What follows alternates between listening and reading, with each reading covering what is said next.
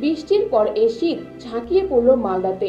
সূর্যের দেখা নেই, চারিদিকে কুয়াশাচ্ছন্ন কনকনে এই শীতে মানুষের বাজারহাট কাজকর্ম অসুবিধা হলেও আনন্দ উপভোগ করছে বছরের এই প্রথম ঠান্ডাটাকে।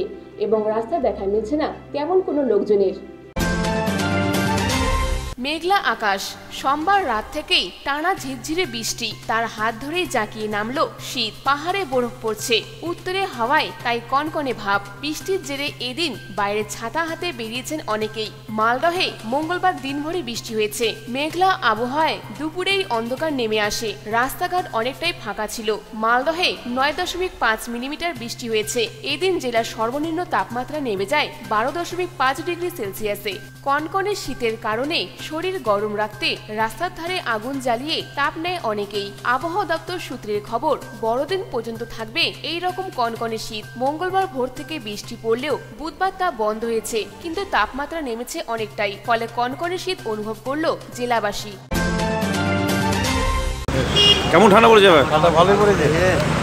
এই বছর কি প্রথম? প্রথম। বছরে প্রথম ঠান্ডা এটা। কেমন ঠান্ডা পড়েছে? ভালো প্রচুর প্রচুর ঠান্ডা। এবছরে প্রথম। কি অনুভব করছে ঠান্ডাটাকে? ভালো।